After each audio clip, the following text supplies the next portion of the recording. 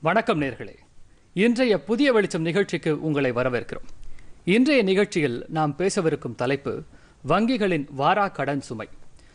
உலகம் மொத்தமே இந்த கொரோனா காலகட்டத்தில் ஊரடங்கின் காரணமாக பொருளாதார தேக்க நிலை பொருளாதாரத்தில் ஒரு வந்த நிலையை சந்தித்து வரும்போது இந்தியாவிலும் அதன் தாக்கம் இருக்கிறது என்பதை நாம் அனைவரும் அறிந்திருக்கிறோம்.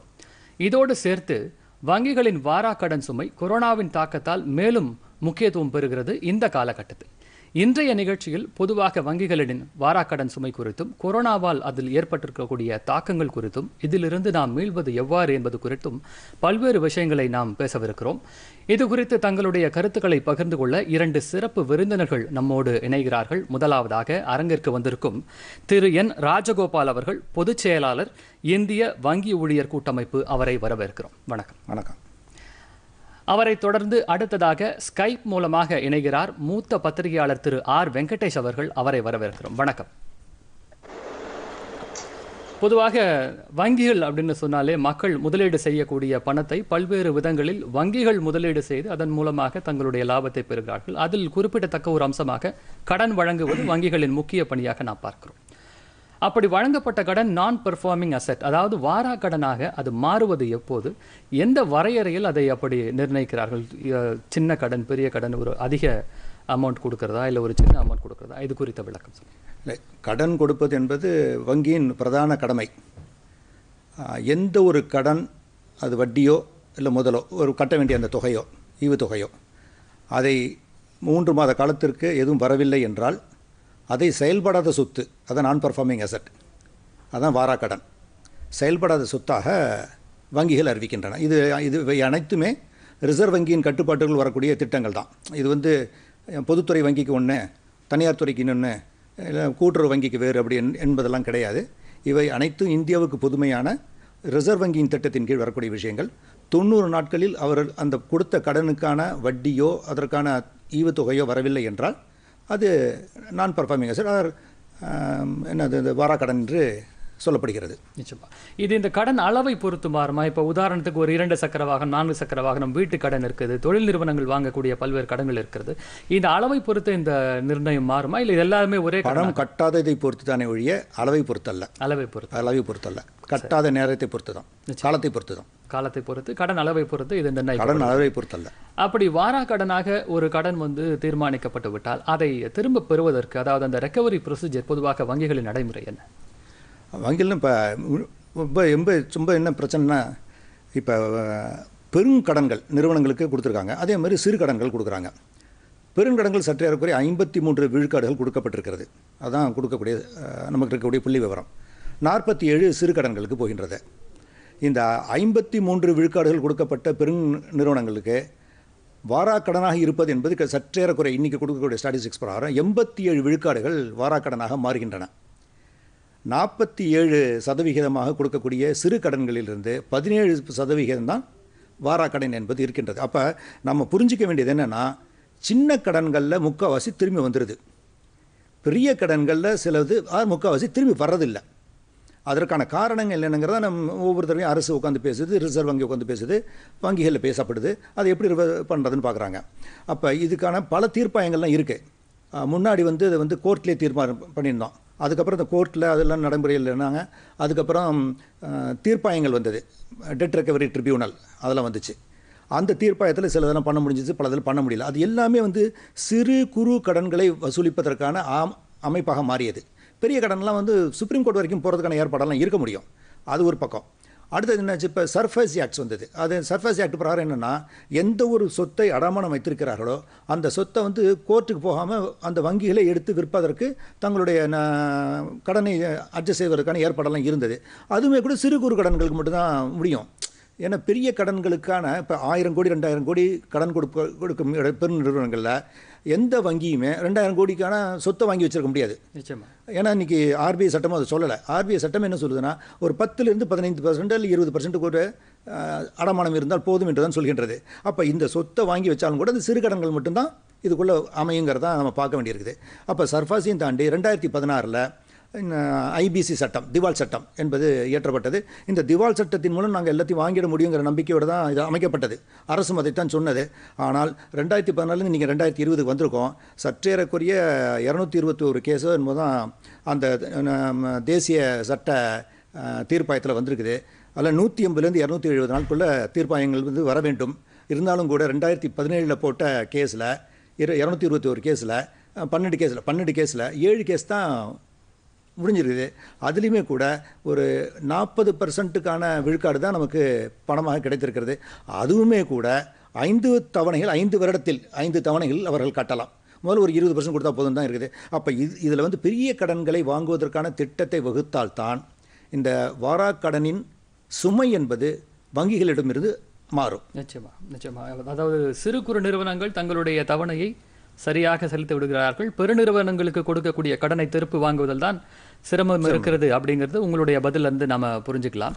திரு வெங்கடேஷ் அவர்கள் மூத்த பத்திரிகையாளர்கள் அவர்கிட்ட நான் கேட்க விரும்புறது என்னன்னா கடந்த வாரத்துல நம்முடைய மத்திய ரிசர்வ் வங்கியானது ஒரு வங்கிகளின் ஸ்திரத்தன்மை குறித்த ஒரு அறிக்கையை வெளியிட்டது. பல்வேறு தகவல்கள் அதில் தெரிவிக்கப்பட்டது. புள்ளி விவரங்கள் தெரிவிக்கப்பட்டது. அந்த அறிக்கை குறித்த உங்களது பார்வை வெங்கடேஷ்? ஆண்டுக்கு இருமுறை வெளியாகக்கூடிய அறிக்கை இது.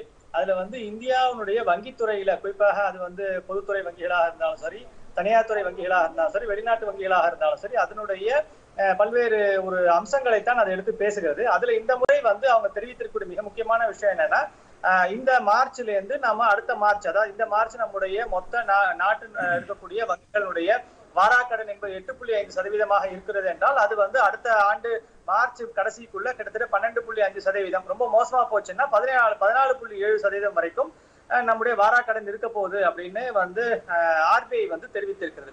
இது மிக முக்கியமான ஒரு அம்சம். நண்பர் பின்னாடி சொன்னார். இந்த பெரிய க- நிறுவனங்கள் வந்து கடனை கட்டாமல் போகும்போது ஏற்படக்கூடிய பாதிப்புகள் அதை வந்து வசூலிப்பதில் இருக்கக்கூடிய பிரச்சனை பற்றி நண்பர் வந்து மிக தெளிவாக விளக்கினார். நான் இந்த தடவை ஏற்படக்கூடிய மிக முக்கியமான இந்த பாதிப்பை பற்றி நம்ம பேச வேண்டியிருக்குது. என்னன்னா இந்த முறை ஏற்பட்டிருக்கக்கூடிய பாதிப்பு வழக்கமான ஒரு சூழ்நிலையில ஏற்படாத ஒரு பாதிப்பு. இது வந்து கொரோனா காலத்துல ஏற்பட்டிருக்கக்கூடிய மிக முக்கியமான ஒரு பாதிப்பு. இதன்படி என்ன சிக்கல் ஆயிருக்கு அப்படின்னு கேட்டீங்கன்னா இந்த ஒரு ஆறு மாதங்களுக்கு அதாவது மார்ச் ஆகஸ்ட் முடிய ப- பல நிறுவனங்களுக்கும் சரி தனிநபர்களுக்கும் சரி எஸ்எம்இஸ் சொல்லக்கூடிய சிறு குறு நடுத்தர தொழில்களுக்கும் சரி அவங்களுடைய மாதாந்திர தவணைகளை கட்டுவதற்கான ஒரு ஒத்திவைப்பை வந்து மத்திய அரசு வழங்கியது ஆர்பிஐ வழங்கியது. இப்ப என்ன ஒரு யோசனை இருக்கிறது என்றால் ஆகஸ்டுக்கு பின்னர் எத்தனை நிறுவனங்கள் அல்லது தனிநபர்கள் இந்த பணத்தை மீண்டும் வந்து முறையாக கட்டத் தொடங்க போகிறார்கள் என்ற ஒரு பெரிய கேள்வி இருக்கிறது. அது ஒன்று. இரண்டு என்னன்னா இப்ப இந்த கட்டாமல் போகக்கூடிய இந்த காலகட்டத்திலேயே வங்கிகளுக்கு வந்து பெரிய பெருமளவு நஷ்டம் ஏற்பட்டிருக்கிறது. இந்த நஷ்டம் அடுத்து வரக்கூடிய ஆகஸ்டுக்கு பிற்பாடு செப்டம்பர் அக்டோபருக்கு அப்புறம் எத்தனை பேரால வந்து நிறுவனங்களால எஸ்எம்இஸால பணம் கட்ட போக முடிய போகுது அப்படிங்கிற ஒரு தயக்கம் இருப்பதனால இது வந்து மொத்தமாக சேர்ந்து வருட இறுதியில் நமக்கு வந்து வரக்கூடிய அதாவது பணம் வராமல் போகக்கூடிய சூழ்நிலை என்பது மிக அதிகமாக இருக்க போகிறது. வாராக்கடன் பெருக போகிறது என்ற ஒரு எச்சரிக்கையை தான் இப்போது நம்முடைய இந்த நிதி ஸ்திரத்தன்மை அறிக்கையின் மூலம் நிதிநிலை ஸ்திரத்தன்மை அறிக்கையின் மூலமாக மத்திய ஆர்பிஐ வந்து நமக்கு தெரிவித்திருக்கிறது. இப்போ ம- மத்ததுக்கும் இந்த ஒரு சூழ்நிலைக்கும் வித்தியாசம் ஒண்ணு இருக்கு. வழக்கமாக பெருநிறுவனங்கள் பெரும் தொழிலதிபர்கள் என்ன பண்ணுவாங்க? இந்த மாதிரியான கடனை வாங்கிட்டு அவங்களால வந்து அஹ், பல்வேறு காரணங்களால அவங்களால வந்து நிதி அஹ், தொ- சுழற்சி பண்ண முடியலையோ இல்ல தொழிலை பெருக்க முடியலையோ இல்ல மார்க்கெட் கண்டிஷன் சரியா இல்லாத போது ஒரு வீழ்ச்சி சந்திக்கக்கூடிய சூழ்நிலையில அவங்களால கடனை கட்டாம போவாங்க.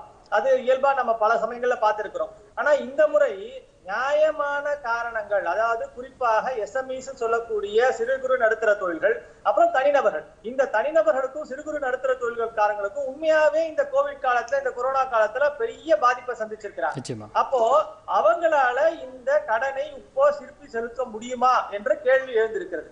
அப்போ முன்னாடி எல்லாம் ஏற்பட்ட ஒரு பாதிப்புக்கும் இந்த பாதிப்புக்கும் ஒரு பெரிய வித்தியாசம் இருக்கிறது. இது நடுத்தர த- நடுத்தர வர்க்கத்துல இருக்கக்கூடிய சாதாரண இந்த வங்கி கடன் வாங்கி இருக்கிறவங்க அதே மாதிரி இந்த மாதிரியான வீடு கட்ட வீடு லோன் வாங்கி இருக்கிறவங்க அதே மாதிரி சிறு நடுத்தர சிறு குறு நடுத்தர தொழில்களுக்காரங்க தங்கள் தொழிலை நடத்துவதற்காக வாங்கின கடன் வாங்கினவங்க அவங்க எல்லாருமே இன்னைக்கு இந்த கொரோனானால பாதிக்கப்பட்டு அவங்களோட தொழில்கள் நசிந்து போயிருக்கின்றன. அதனால அவர்களால வந்து பணத்தை செலுத்த முடியாத ஒரு சூழ்நிலை ஏற்பட்டு விடும் என்ற ஒரு எதிர்பார்ப்பு இருக்குது. இப்போ இந்த இடத்துல நம்ம புரிந்து கொள்ள வேண்டியது என்ன இது வங்கிகளை ஏமாற்ற வேண்டும் என்றோ இல்ல வங்கிகளை வந்து நாம வந்து சுரண்டி தின்ன வேண்டும் என்றோ எல்லாம் யாரும் நினைச்சு இதை செய்யல. இது உண்மையிலேயே வந்து இருக்கக்கூடிய மக்களுடைய ஒரு மிகப்பெரிய ஜீவாதார வாழ்வாதார பிரச்சனையினால அவர்களால செலுத்த முடியாம போயிடலாம் அப்படிங்கிற ஒரு அச்சம் இருக்குது. இப்பவும் என்ன இருக்குன்னா நம்ம இப்படிப்பட்ட ஒரு சூழ்நிலையில ஒரு நாலு சதவீதம் அளவுக்கு கூடுதலாக நம்முடைய வாராக்கடன் பெருகிவிடும் என்று சொல்றமே தவிர ஒருவேளை நாளைக்கு ஆகஸ்ட் முடிஞ்ச பிற்பாடு அஹ், மக்கள் வந்து எத்தனை பேர் இன்னும் வந்து இந்த கடனை கட்டுவதற்கு அவர்கள் வந்து தயாராக வெளியே வருகிறார்களோ அப்போ அந்த ஒரு எண்ணிக்கை நமக்கு செப்டம்பர் அக்டோபருக்கு அப்புறம் தான் நமக்கு தெரிய போகுது. ஆக்சுவலா உண்மையாவே கட்ட வெளியே வராங்களா இல்ல கட்ட முடியாம போறாங்களா? அஹ், இந்த கடன்கள்லாம் மூழ்கி போதா என்னன்னு அப்பதான் தெரிய போகுது. அப்போ நாம என்ன இதை புரிந்து கொள்ள வேண்டும்னா இது ஒரு அபாய எச்சரிக்கை. நம்முடைய ஒரு சொல்லியிருக்கல். இந்த சூழ்நிலையில நாம வந்து புரிந்து கொள்ள வேண்டியது இதை வந்து நாம இவருடைய குற்றம் என்றோ அவருடைய குற்றம் என்றோ எல்லாம் இப்ப சொல்ல முடியாது. இது கொரோனாவினால் ஏற்பட்ட பாதிப்பு. இந்த பாதிப்பில் நாம் எல்லோருமே பாதிப்படைந்திருக்கிறோம். அஹ் மத்தியதர வர்க்கத்தினர் பாதிப்படைந்திருக்கிறார்கள். இது எல்லாம் சேர்ந்துதான் இன்னைக்கு வங்கிகள்ல அதனுடைய பெரிய பாதிப்பை நாம சந்திக்க போறோம். நிச்சயமா. திரு வெங்கடேஷ் அவர்கள் நீங்கள் ஒரு முக்கியமான புள்ளியை குறிப்பிட்டீங்க முக்கியமான பாயிண்ட் சொன்னீங்க. என்னன்னா இந்த கொரோனா காலகட்டத்தினால சிறு குறு நடுத்தர தொழில்கள் பெரிதும் பாதிக்கப்பட்டிருக்கிறது. இதை தாண்டி தனிநபர் கடன் வாங்கியவர்களும் பெரிதாக பாதிக்கப்பட்டிருக்கிறார்கள்னு. இதை இதை வந்து ஒரு இதுக்கு ஒரு கண்ட்ரோல் மெஷராக நம்முடைய அரசாங்கம் வந்து இருபது லட்சம் கோடி ரூபாய் ஸ்டிமுலஸ் பேக்கேஜ் அறிவிச்சாங்க. அது உங்களுக்கு நல்லா தெரிஞ்சிருக்கும். அது மட்டும் இல்லாமல் இந்த கடன்களை வந்து ஒரு குறிப்பிட்ட காலத்துக்கு நீங்கள் இஎம்ஐ கட்ட வேணாம் அப்படிங்கிறதையும் நம்முடைய அரசாங்கம் முன் வச்சாங்க. பலர் அதனால் பயன்பெற்றார்கள். இப்போ ஆகஸ்ட்டுக்கு அப்புறமா அது கட்ட முடியுமா அப்படின்னு ஒரு கேள்வியை நீங்கள் முன்வைக்கும் போது இதற்கான மாற்று வழியாக நீங்கள் எதை சொல்லுவீங்க வெங்கடேஷ்? இல்ல சார் ரெண்டு அம்சம் தான் சார் நம்ம புரிஞ்சுக்கொள்ளணும். என்னன்னா இது யதார்த்தம். நம்ம இப்படித்தான் இருக்க போதுன்ற ஒரு பயம் இருக்குது. அதாவது ஒருவேளை மக்களால் கடன் வாங்கியவர்களால் நாளைக்கு ஆகஸ்டுக்கு பிற்பாடு செலுத்த முடியாமல் போய்விடலாம். அப்போ அது சூழ்நிலை ரொம்ப மோசமாக இருக்குமே ஆனால் அது வந்து பதினாலு புள்ளி ஏழு சதவீதம் வரைக்கும் கூட நீங்க வந்து வாராக்கடன் பெருகிவிடலாம் என்றெல்லாம் நாம அசியூம் பண்றோம். ஒரு நம்ப அந்த அந்த மாதிரியான ஒரு ஸ்ட்ரெஸ் டெஸ்ட்னு ஒரு ஸ்ட்ரெஸ் டெஸ்ட்னு வந்து வங்கிகள்ல வந்து இந்த ஆர்பிஐ செய்திருக்கிறது. அதை ஒட்டி தான் இவங்க இந்த முடிவுக்கு வராங்க. தப்பு இல்ல நான் என்ன கேக்குறேன்னா இப்ப நாளைக்கு அது மாதிரியே இருக்கணுங்கிற அவசியம் கிடையாது. ஒருவேளை அஹ், பெரிய நிறுவனங்களும் சரி சிறு குறு நடுத்தர தொழில்கள் நிறுவனங்களும் சரி தனிநபர்களும் மீண்டும் கடனை கட்டுவதற்கான ஒரு முயற்சியில் இறங்கி கட்ட வரலாம். அப்போ நாம என்ன இப்போ நீக்கு போக்கோட நடந்து கொள்ள வேண்டிய முக்கியமான விஷயம் என்னன்னா இது பெரிய நிறுவனங்கள் மாதிரி இப்ப நீங்க சார் சொன்னார்ல தர்பாசி ஆக்ட கீழே கொண்டு வரதோ இல்ல ஐபிசி கீழே கொண்டு வரதோ எல்லாம் வந்து நமக்கு இப்ப இருக்கக்கூடிய சாதாரணப்பட்ட எளியவர்கள் மத்தியில் இதெல்லாம் வந்து நடத்தக்கூடாது. நம்ம என்ன செய்யணும்னா அவர்கள் ஒருவேளை இன்னும் கூடுதலாக நாங்க கடனை கட்டுவதற்கான கால அவகாசம் கேட்டார்களா என்றால் கால அவகாசம் கொடுக்க வேண்டும். இவர்கள் உண்மையிலேயே வேண்டும் என்றே ஏமாற்ற விரும்பு ஏமாற்ற அரசாங்கத்தையோ இல்ல வங்கிகளையோ ஏமாற்ற விரும்புபவர்கள் அல்ல. நீங்க அதை முதல்ல நம்ம புரிஞ்சுக்கணும். அப்போ இயல்பாகவே இவர்களால் இன்னைக்கு கட்ட முடியாத சூழ்நிலையில இருக்கிறாங்க.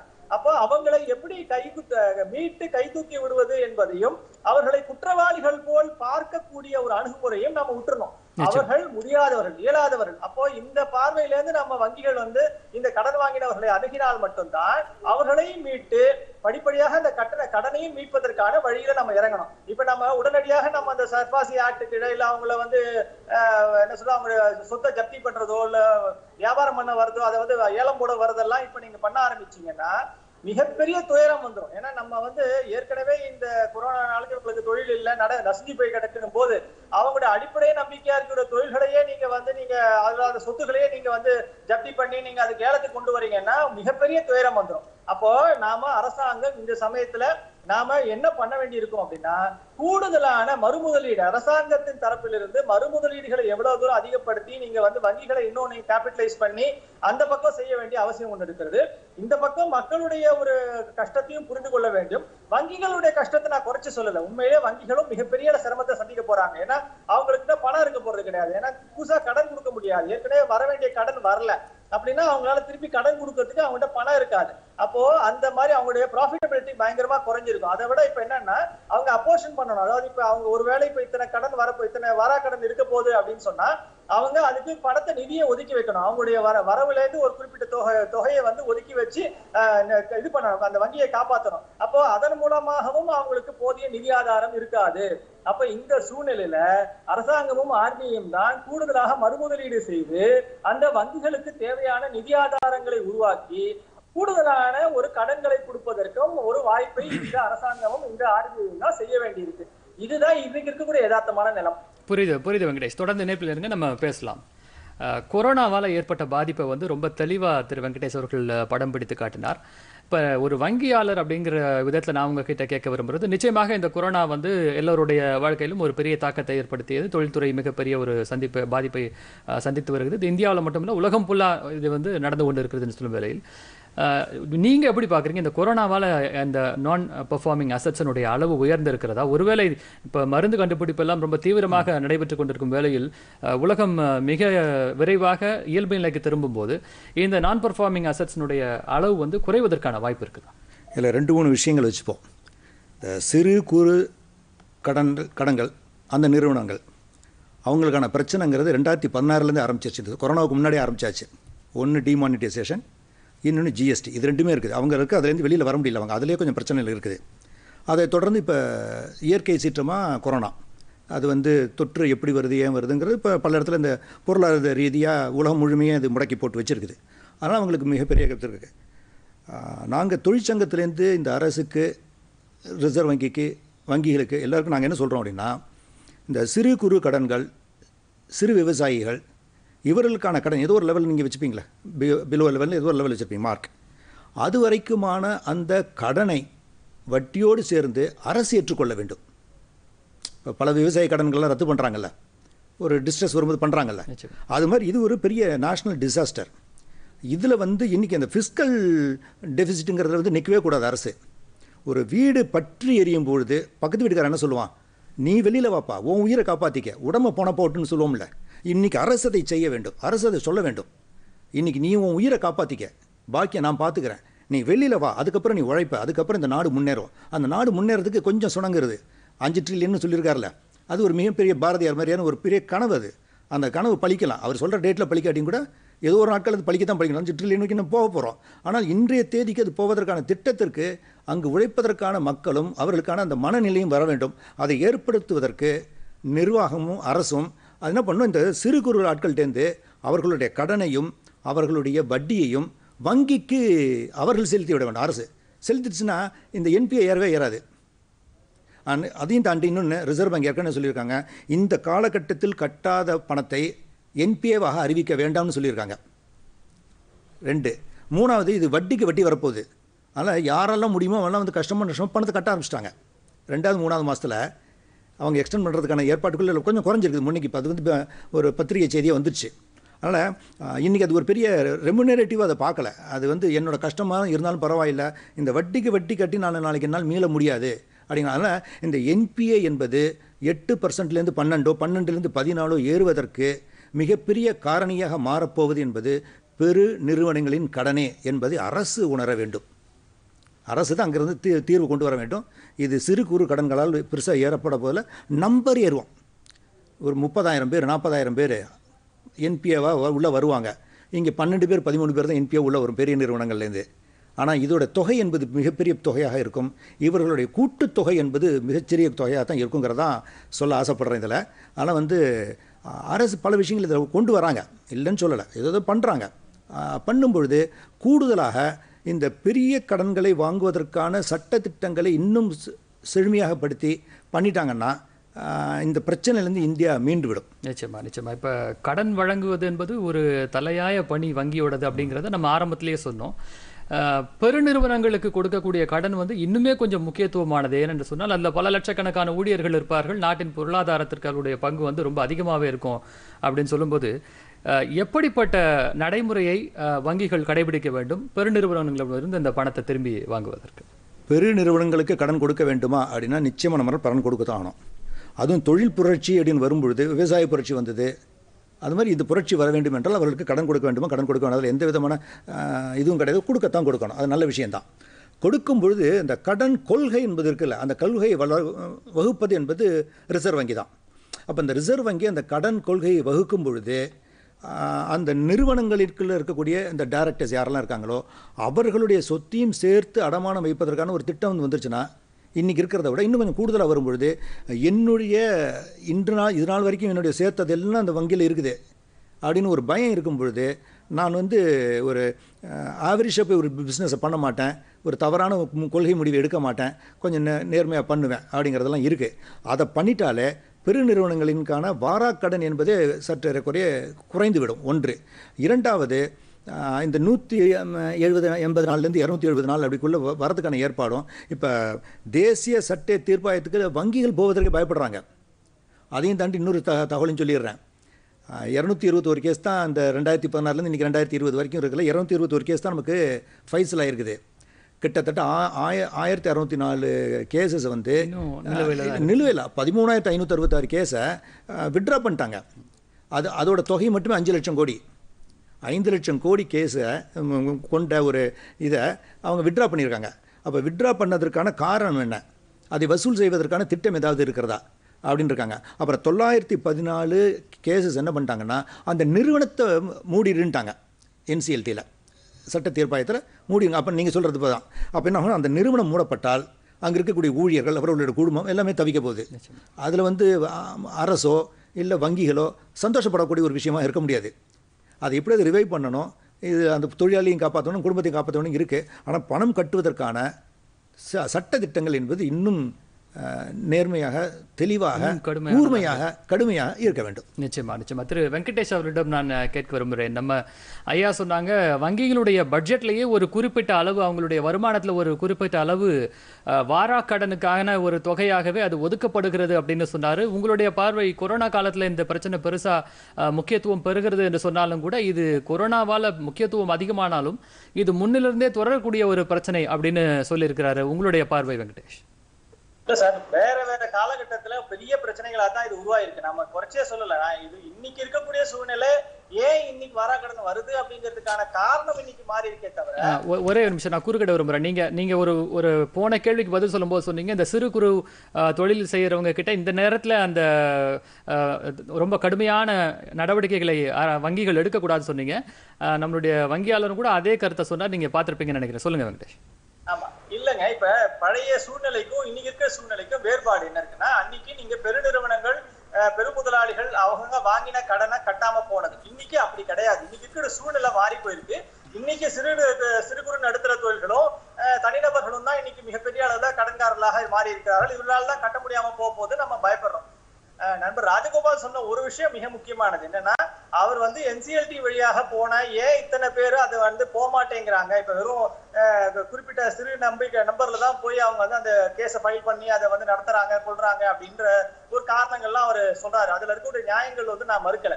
எனக்கு ஒரு சில புள்ளி விவரங்கள் மட்டும் நான் கூட சொல்லணும்னு விரும்புறேன். பெரும்பாலும் இந்த மாதிரி என்சிஎல்டியில போகக்கூடிய ஒரு தீர்ப்புகள் என்ன ஆகுது அப்படின்னு கேட்டீங்கன்னா அதை நீங்க நாளைக்கு நீங்க ஏலத்துக்கே கொண்டு வந்தா கூட உங்களுடைய நூ ஒரு ரூபாய்க்கு இருபத்தஞ்சு காசு முப்பது காசுக்கு மேல உங்களுக்கு வருமானம் வரமாட்டேங்க அதாவது நீங்க நூறு ரூபாய் இருக்க ஒரு சொத்தை நீங்க போய் ஏலத்துல விட்டீங்கன்னா உங்களுக்கு இருபத்தஞ்சு ரூபா கூட வரமாட்டேங்க இதுதான் வந்து இருக்கக்கூடிய யதார்த்தமான நிலையில முப்பது ரூபா கூட வரமாட்டேங்க இப்படிப்பட்ட ஒரு சூழ்நிலையில தான் நம்ம இருக்கோம். அதாவது இந்த முதலுக்கே மோசங்கிற ஒரு நிலையில தான் நம்ம போய் நிக்கிறோம். அப்போ இதெல்லாம் வந்து நம்ம சந்திக்க வேண்டிய ஒரு வேற சில பிரச்சனைகளாக இருக்கின்றன. நான் என்ன இப்ப பார்க்கிறேன் அப்படின்னா மிக முக்கியமாக இன்னைக்கு அடுத்த கட்டத்துக்கு நாம இந்த நீங்க பெருமுதலாளிகள் பெரும் தொழிலதிபர்கள் அவர்களுடைய கடன்களை அல்லது நீங்க எப்படி கையாளுறீங்க அவங்களுக்கு வந்து நீங்க என்சிஎல்டி வழியா போறீங்க அல்லது நீங்க திவால் சட்டத்து வழியா நீங்க கையாளுறீங்க இதெல்லாம் நியாயம் கரெக்ட் ஆனா இப்ப இன்னைக்கு இருக்கக்கூடிய சூழ்நிலையில நீங்க இந்த சிறு குறு நடுத்தர தொழில்களையோ இல்ல வந்து தனிநபர்களையோ நாம வந்து வங்கிகள் அதிகமாக போட்டு டார்ச்சர் பண்ணக்கூடாது. அவர்களை நீங்கள் வந்து இந்த சமயத்தில் கை தூக்கி விட வேண்டியதுதான் வங்கிகளுடைய மிக முக்கியமான கடமையாக இருக்க வேண்டும். ஆமாம் அவர்களுடைய தொகை அவர்கள் வாங்கின தொகை பெரிய தொகை இல்லைதான். பெரிய ந- நிறுவனங்களோடு ஒப்பிடும் போது பெரிய தொகை இல்லைதான். ஆனாலும் இன்னைக்கு என்ன ஆகும்னா உடனடியா இவங்க மேலதான் நாளைக்கு வந்து உடனடியா நீங்க அவங்க மேலதான் சட்டங்கள் பாய ஆரம்பிக்கும். அப்ப நாம என்ன புரிஞ்சுக்கொள்ளணும்னா இவர்களை காப்பாற்றுவது வங்கியுடைய கடமை தான் ஏன்னா இவர்கள் தான் இன்னைக்கு பெரிய அளவு சிறுகுறு சிறு குறு நடுத்தர தொழில்கள் தான் ஏராளமான வேலை வாய்ப்பை உருவாக்கி வச்சிருக்கிறாங்க. அப்போ அவர்களையும் காப்பாற்ற வேண்டியது அரசாங்கத்துடைய கடமை வங்கியுடைய கடமை. அதையும் புரிந்து கொள்ள வேண்டும் என்பதுதான் நான் திருப்பி திருப்பி பேசிக்கொண்டேன் ஏன்னா இது அவங்களோட தப்பு இல்ல அவங்க கைனால வந்தது இல்ல அவங்க பண்ண ஒரு ஒரு வியாபார மிஸ்டேக்ஸோ இல்ல அவங்க பண்ண ஏதோ ஒரு வணிக தவறுனால ஏற்பட்ட பிரச்சனை இல்ல. இது உலகம் எங்கும் ஏற்பட்ட ஒரு மிகப்பெரிய பிரச்சனை. அதனால இவர்கள் பாதிக்கப்பட்டிருக்கிறார்கள். அப்போ இந்த ஒரு கரிசனையோடு இந்த ஒரு புரிதலோடு இந்த அஹ், இந்த இந்த- இந்த கடன்காரர்களை நாம் அணுக வேண்டும் என்றுதான் நான் பார்க்கிறேன். நிச்சயமா வெங்கடேஷ். நம்ம திரு ராஜகோபாலன் அவர்களும் கிட்டத்தட்ட இதே ஒரு கருத்தை தான் சொல்லியிருக்கிறார். இரண்டாயிரத்தி இருபத்தி நான்கு இருபத்தி ஐந்து வாக்கில் நம்ம ஒரு ஐந்து ட்ரில்லியன் என்ற இலக்கை நோக்கி போக வேண்டும் அப்படின்னு நம்முடைய பிரதமர் மோடி அவர்கள் ஒரு இலக்கு நிர்ணயித்தார். இந்த பொருளாதார சுணக்கம் வந்து அதை எட்டுவதற்கோ இல்லை இந்த நான் பெர்ஃபார்மிங் அசட்ஸ் வந்து அதுக்கு ஒரு தடையா இருக்குன்னு பார்க்குறீங்களா நிச்சயமா சார். இப்ப நம்மளுடைய எதிர்பார்ப்புகள் வந்து கண்டிப்பா அதிகமா தான் இருக்கு. நாம வந்து ஆசைப்படுறோம். நம்ம வந்து ஒரு குறிப்பிட்ட இலக்கை நிர்ணயித்து கொண்டு நம்ம போகணும்னு ஆசைப்படுறோம். ஆனா இது வந்து இப்படித்தான் இருக்க போகுது. எனக்கு இன்னொரு பயங்கள்லாம் இருக்குங்க. சர்வதேச பொருளாதாரத்துல இப்ப நீங்க ஐரோப்பிய சந்தையானாலும் சரி அமெரிக்க சந்தையானாலும் சரி எல்லா இடத்துலயுமே இன்னைக்கு குவான்டிடேட்டிவ் ஈஸிங்னு சொல்றோம். அதாவது நிதி முதலீடுகளை இன்னைக்கு வந்து திறந்து விட்டுருக்காங்க. அதனால இன்னைக்கு வந்து மிகப்பெரிய அளவுல சர்வதேச அளவுல பொருளாதார ந- நகர்வுகள் நடந்து கொண்டிருக்கின்றன. ஆனா என்ன போகுது? நீங்க நவம்பர் மாசம் அமெரிக்கால தேர்தல் வரப்போகுது. அமெரிக்காவுடைய அதிபருடைய தேர்தல் வரப்போகுது. அப்போ அதுக்குள்ள நீங்க வந்து பெருமளவு இருக்கக்கூடிய ம- வெளிநாட்டு முதலீட்டாளர்கள் எல்லாம் அவங்கவுங்க நாட்டுக்கு திரும்பி போயிடுவாங்க அப்போ நம்முடைய சந்தையில இருக்கக்கூடிய இந்த அந்நிய நேரடி முதலீடுகளோ இல்ல நீங்க பங்கு சந்தையில வரக்கூடிய முதலீடுகள்லாம் குறைஞ்சு போயிட போகுது. அப்போ நாம வேற சில சிக்கல்களுக்குள்ள போக போறோம். இப்போ உலக அளவிலேயே நம்ம வந்து ஒரு ரெசஷனுக்குள்ள போக போறோம். ரெண்டாயிரத்தி இருபது இருபத்தி ஒண்ணுக்கு அப்புறம் நம்முடைய ரெசஷனுக்குள்ள போக போறோம். அப்போ நாம அந்த அது வந்து ஒரு சர்வதேச அளவுல இருக்கக்கூடிய யதார்த்தம். நாம ஏற்கனவே இன்னைக்கு வந்து தொடர்ச்சியாக நம்முடைய ஒரு ஜிடிபி வந்து சரிந்து கொண்டே வருகிறது. அப்போ இதையும் சேர்த்து நாம இப்படி புரிந்து கொள்ள வேண்டும். என்னன்னா நமக்கு இலக்கு இருக்குது. நாம் எப்படி போகணும்னு நினைக்கிறோம். நம்ம வந்து தொழில்களை பெருக்கணும்னு நினைக்கிறோம். வியாபாரத்தை பெருக்கணும்னு நினைக்கிறோம். நம்ம வந்து சீனால இருந்து நம்ம தொழில்களை இங்கே ஈர்த்து கொண்டு வந்து நம்ம இங்கேயே நம்முடைய சுயசார்புள்ள ஒரு பொருளாதாரத்தை உருவாக்க வேண்டும் என்று விரும்புகிறோம். இது எல்லாம் நமக்கு உண்மையிலேயே கை கொடுக்க வேண்டும். ஆனால் அந்த இலக்கு என்பது ஐந்து ட்ரில்லியன் இருக்கிறது. நம்ம ராஜகோபால் சார் சொன்ன மாதிரி அவர் இலக்கு பிரைம் மினிஸ்டர் சொன்ன மாதிரியான தேதிக்குள்ள அது வராம இருக்கலாம். ஆனால் அந்த இலக்கை அடைவதற்கு ஒரு சில ஆண்டுகளுக்கு தள்ளி கூட போகலாம். ஆனால் அதுதான் நம்முடைய நோக்கமாக இருக்கும். அதைக்குலேருந்து நாம இன்னைக்கு என்னென்னலாம் செய்யணும்னு பார்க்க வேண்டியிருக்குது இன்னைக்கு அந்த நம்ம அந்த கணக்கெல்லாம் போட்ட போது நம்ம இப்படிப்பட்ட ஒரு சர்வதேச ஒரு தேக்கத்தையோ இல்ல சர்வதேச ஒரு இந்த நோய் தொற்றையோ நம்ம எதிர்பார்க்கவே இல்லை. இன்னைக்கு அந்த நோய் தொற்று வந்துருச்சு. அதே மாதிரி நீங்க அமெரிக்கால இருக்கக்கூடிய ரெசெஷன் வரப்போகுது. இதெல்லாம் நம்ம கண்ணெதிரில் பாக்குறோம் ஐரோப்பால அது பாதிப்பு ஏற்படுத்த போடுது இதெல்லாம் நம்ம பார்க்கும்போது நம்முடைய ஒரு எதிர்பார்ப்பை குறைத்துக் கொள்ளாமல் அதே சமயத்தில் நாம் எப்படி மீண்டு வருகிறது வரப்போகிறோம் என்பதை முழுமையாக திட்டமிட வேண்டும் என்பதுதான் ஒரு நம்பிக்கை. ஒரே ஒரு திருப்தியான ஒரே ஒரு விஷயத்தை மட்டும் நான் சொல்லிடுறேன். என்னன்னா இவர் நம்முடைய தலைமை பொருளாதார ஆலோசகரான கிருஷ்ணமூர்த்தி சுப்பிரமணியம் அவர்கள் பேசும்போது என்ன சொன்னார்னா இந்த கோ- கோவிடுக்கான மருந்து கண்டுபிடிக்கப்பட்டவுடன் எப்படி நம்ம ஏற்கனவே ஒரு இருபது லட்சம் கோடிக்கான ஒரு ஸ்டிமுலஸ் பேக்கேஜ் அறிவிக்கப்பட்டதோ அதே மாதிரியான அடுத்த ஸ்டிமுலஸ் பேக்கேஜ் அறிவிப்பதற்கான நாங்கள் முயற்சியில் இறங்கி இருக்கிறோம் என்று திரு சுப்பிரமணியம் அவர்கள் தெரிவித்திருக்கிறார். இது வந்து உண்மையிலேயே ரொம்ப வரவேற்கத்தக்க ஒரு விஷயம். ஏனென்றால் இன்னைக்கு நாம பண்ண ஒரு கட்ட செலவு வந்து இன்னைக்கு நாலு மாசம் ஆயிடுச்சு அஞ்சு மாசம் ஆயிப்போச்சு. போச்சு அடுத்த கட்ட ஒரு முதலீடுகளை வந்து நீங்க அரசாங்கம் கொண்டு வர வேண்டும் என்பதுதான் எதிர்பார்ப்பு. அதற்கும் அரசாங்கம் தயாராக இருக்கிறது என்று சுப்பிரமணியம் அவர்கள் தெரிவித்திருப்பது வரவேற்கத்தக்கது. நிச்சயமாக. நன்றி திரு வெங்கடேஷ். இணைப்பில் வந்து உங்களுடைய கருத்துக்களை பகிர்ந்து கொண்டமைக்கு மிக்க நன்றி. பல்வேறு தகவல்களை திரு வெங்கடேஷ் சொன்னார். இப்போ ஒரு உடனடியாக ஒரு அவசர உதவி தேவை என்பது போல தான் அவருடைய பதில் இருந்தது. அதில் மாற்று கருத்து எதுவும் இல்லை. அரசாங்கமும் அவ்வளவு தீவிரமான ஒரு நடவடிக்கையை சிறு குறு விவசாய அந்த தொழில் முனைவோரோடு எடுக்காது அப்படிங்கிறது தான் நம்மளுடைய எதிர்பார்ப்பாக இருக்கிறது. இந்த கொரோனாவால் ஏற்பட்ட தாக்கம் என்பது இந்தியாவில் மட்டுமில்லாமல் உலகம் முழுவதுமே இந்த தாக்கம் ஏற்பட்டிருக்குது. மற்ற உலக நாடுகள் இந்த இந்த பொருளாதார தேக்க எப்படி கையாளுகிறார்கள்? இது சற்றேறக்குறை உலகத்தில் உள்ள அனைத்து நாடுகளையும் மக்களையும் இது பாதித்திருக்கிறது. இதில் என்னென்னா சோஷியலிசத்தை பின்பற்றக்கூடிய நாடுகளில் இந்த கொரோனா தாக்கம் என்பது மிகவும் கட்டுக்குள் கொண்டு வந்திருக்கிறார்கள் அந்த நாட்டில். காரணம் பொது சுகாதாரம் என்பது இருக்கிறது. இங்கே இங்கே பல நாடுகளில் இந்தியாவில் முதற்கொண்டு பொது அப்படிங்கிறது நம்ம வெளியில் போயிட்டோம். எல்லாம் தனியார் நோக்கி நகர்றோம். அதனால தான் கியூபாவோ சைனாவோ இந்தோனேஷியாவோ அவங்கெல்லாம் இப்போ தமிழ்நாடு இந்தியான்னு எடுத்துக்கிட்டிங்கன்னா கேரளா. கேரளாவில் கோவிட் நல்லா ரஷ்யா பண்ணுறாங்க அளவுல இருக்காங்கங்கிறது உங்களுக்கு தெரியும் நினைக்கிறேன். அந்த புள்ளி விவரங்கள் ஆமாம் அப்படி இருக்கும் பொழுது அப்போ எந்த சமூகம் இந்த மாதிரியான பரவலை இந்த மாதிரியான ஒரு தொற்றை கட்டுக்குள் கொண்டு வர முடியும் அப்படின்னா அதுக்கான அமைப்பு கட்டமைப்பில் இருந்து நாம் நகர்ந்திருக்கிறோம். அதான் இன்றைக்கி நம்ம பிரச்சனையாக இருக்குது. அதே மாதிரி அவர் சொன்ன மாதிரி நான் திரும்பி திரும்பி என்ன சொல்கிறேன்னா இந்த காலகட்டத்தில் சிறு குறு ஆட்களிடமிருந்து இந்த கடனை அந்த தொகையை அந்த கடன் தொகையை அது அந்த இந்த மூணு மாதம் இல்லை ஆறு மாதத்திற்கான அந்த கடன் தொகையையும் வட்டியையும் அரசே ஏற்றுக்கொள்ள வேண்டும் என்பதுதான் தொழிற்சங்கத்தில் நாங்கள் வைக்கக்கூடிய கடன் இது வச்சுட்டாலே வங்கிகள் அவர்கள்ட்ட போய் நிற்கவே நிற்காது அவர்கிட்ட கொடுன்னு கேட்க போகிறது கிடையாது. அவங்களுக்கும் ஒரு ரிலீஃப் கிடைக்கும் வெளியில் வந்துருவாங்க. அப்படிங்கிறத எங்களோட ஒரு நாங்கள் அதுக்கான உபாயத்தை கொடுக்குறோம். அந்த இருபது லட்சம் கோடி அப்படிங்கிற ஸ்டிமுலஸ் இருக்குல்ல அது எல்லா க- நாட்டிலையும் இந்த மாதிரி பல ஸ்டிமுலஸ் கொடுத்துருக்காங்க. அவங்க கொடுத்தது எல்லாமே கூட பல பேர் என்ன பண்ணுறாங்கன்னா அவர்கள் கையில் வாங்கும் திறன் சக்தியை உண்டு பண்ணுறதுக்கு கொடுத்துருக்காங்க. இங்கே அதெல்லாம் கொடுக்க அப்படி கொடுக்கல. இங்கே வந்து நம்ம திரும்ப திரும்ப கேட்கறனால வீடுகளுக்கு ரே- ரேஷன் கொடுக்கறது ஒரு ஐநூறுரூவா கொடுக்குறது ஆயிரம் ரூபா கொடுக்குறன்னு பண்ணியிருக்காங்களே ஒழிய அதை இன்னும் கூடுதலாக பண்ண வேண்டும். இந்த கொரோனா காலம் முழுமைக்கும் பண்ண வேண்டும். இன்னும் இந்த காலத்தில் பெருசாக ஆக்டிவிட்டி இருக்க போகிறது கிடையாது. அப்போ வங்கிகள் மூலிமா கடன் என்பதை கொடுக்க கொடுப்பதை தாண்டி வீடுகளுக்குள் சாப்பாட்டுக்கான பொருள்களையும் அவர்களுக்கு செலவுக்கான ஒரு ஆயிரம் ரூபாய் எழுநூறுவா ஏழாயிரத்தி ஐநூறுரூவாய் கொடுப்பது தான் என்பது தான் இந்த காலகட்டத்தில் இந்தியாவில் மக்களை காப்பாற்றும் அவர்கள் தான் நாளைக்கு இந்த நாட்டை உயர்த்துவார்கள். நிச்சயமாக நிச்சயமாக. அது நம்மளுடைய இந்த நான் பெர்ஃபார்மிங் அசட்ஸ் என்று சொல்லக்கூடிய வாராக்கடனையும் மீட்டு தரும் ஒரு தொலைநோக்கு பார்வையில் இந்தியா பொருளாதாரத்தை வளர்க்கவும் அது உதவும் என்பதை நம்பிக்கையாக கொண்டு எங்களுடைய அழைப்பை ஏற்று நிலையத்துக்கு வந்து கருத்துக்களை பகிர்ந்து கொண்டமைக்கு மிக்க நன்றி. நன்றி. நேயர்களே அடுத்த நிகழ்ச்சியில் சந்திப்போம். நன்றி. வணக்கம்.